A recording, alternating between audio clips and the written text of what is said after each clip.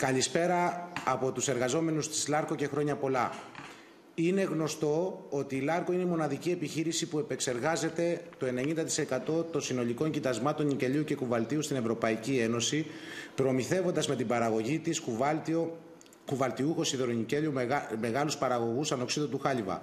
Σύμφωνα με τις καταγραφές, μέχρι σήμερα έχουν παραχθεί 800.000 τόνοι νικελίου και στο υπέδαφος της Ελλάδας υπάρχουν άλλα 2 εκατομμύρια τόνοι, χωρίς να έχουν ολοκληρωθεί οι έρευνες. Είναι γνωστό το ιστορικό. Ο ιδιώτης Μποδοσάκη, που το κράτος του πρόσφερε προνομιακές τιμές ενέργειας, χρηματοδοτήσεων και σκανδαλώδεις παραχωρήσεις, εισέπραξε τα κέρδη και δεν πλήρωσε τα έξοδα. Την εγκατάλειψη υπερχρεωμένη τη δεκαετία του 80. Το κράτος από το 1989 και μετά άρχισε να την υπερχρεώνει μέσα από μια απαξιωτική διαχείριση, όπως δίνοντάς της ενέργεια 20, 30 έως και 60% ακριβότερη από αυτές που προμηθεύονται άλλες παρόμοιες επιχειρήσεις σε Ελλάδα και Ευρώπη. Είναι γεγονός ότι με κατεύθυνση από την παλιά ΕΟΚ και σημερινή Ευρωπαϊκή Ένωση, η ΛΑΡΚΟ δεν ανέπτυξε τη δυνατότητα παραγωγής ανοξίδου του χάλιβα, παρά το γεγονός ότι μια ανάπτυξη σε αυτή την κατεύθυνση θα την έκανε τουλάχιστον 30% πιο ανταγωνιστική από άλλες βιομηχανίες στην Ευρωπαϊκή Ένωση. Μας πνίγει το δίκιο, διότι δεκαετίες τώρα καμιά παρέμβαση δεν έγινε σε αυτά τα ζητήματα. Αγανακτούμε που ενώ δίνονται δισεκατομμύρια ευρώ ζεστό χρήμα και προνομιακών παραχωρήσεων σε ιδιωτικές και κρατικές επιχειρήσεις, για τη ΛΑΡΚΟ υπάρχει μόνο πρόστιμο κρατικών ενισχύσεων, αναγκαστική διακοπή οικονομικής συνέχειας, εκποίηση και πτώχευση. Α τα αφήσουμε όμως όλα αυτά και ας έρθουμε στο σήμερα. Μας λένε ότι πρέπει να προσαρμοστούμε σε μια ανάπτυξη φιλική προς το περιβάλλον. Συμφωνούμε.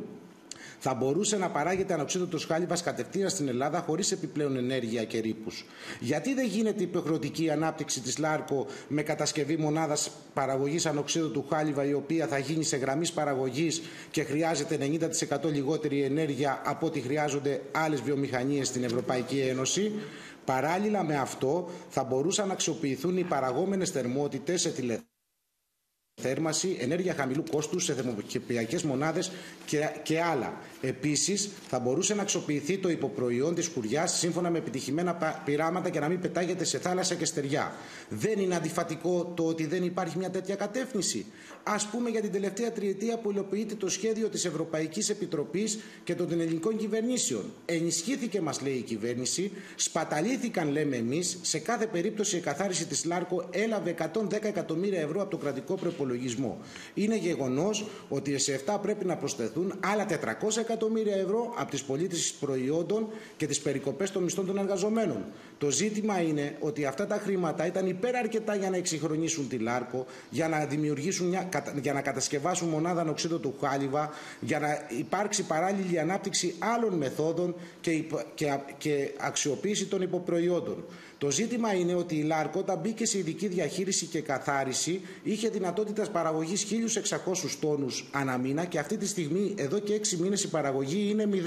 Χρειάζονται δεκάδες εκατομμύρια ευρώ για να έρθει στην κατάσταση που ήταν την ημέρα που μπήκε σε καθάριση. Πρωτομητέο επενδυτής ανακηρύχθηκε η κοινοπραξία GEC Terna AD Holdings. Έχουμε κάνει έτοιμα, έτοιμα συνάντησης με εκπροσώπους της κοινοπραξίας για να μας ενημερώσουν τι θέλουν να κάνουν τη ΛΑΡΚΟ, αλλά δεν έχουν ανταποκριθεί ακόμη.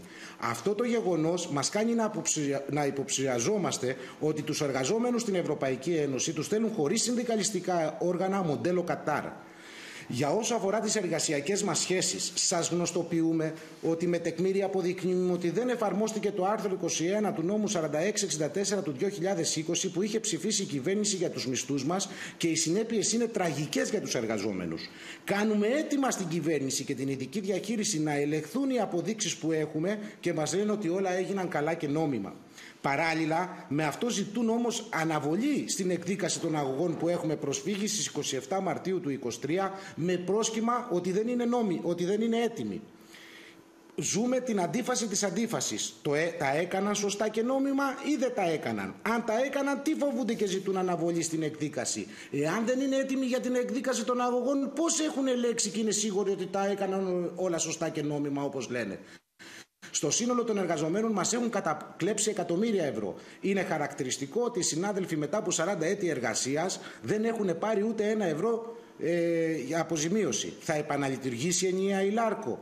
Και αν ναι, πότε; Ποιο είναι το σχέδιο, το σχέδιο εξυγχρονισμού και ανάπτυξης; Τι θα γίνουν οι εργαζόμενοι στις 15 Ιουλίου του 2023 που λήγουν οι συμβάσεις ορισμένου χρόνου; Τι θα κάνει η Ευρωπαϊκή Ένωση έτσι ώστε να εξασφαλιστεί η απορρόφηση του συνόλου των να να υποχρεωθούν κυβέρνηση και νέοι ιδιοκτήτες να, να απαντήσουν και να ξανασυζητηθεί το ζήτημα. Ευχαριστούμε πολύ για το βήμα που μας δώσατε. Θεωρώ ότι η απάντηση σε αυτά τα ερωτήματα που έθεσα δεν μπορούν να δοθούν τώρα και γι' αυτό ετούμαστε με πρωτοβουλία σας να υποχρεωθούν κυβέρνηση και νέοι ιδιοκτήτες να απαντήσουν και να ξανασυζητηθεί το ζήτημα στη βάση των απαντήσεων που θα μας δώσουν και των δεδομένων που θα έχουμε. Σας ευχαριστούμε πολύ για το βήμα που μας δώσατε.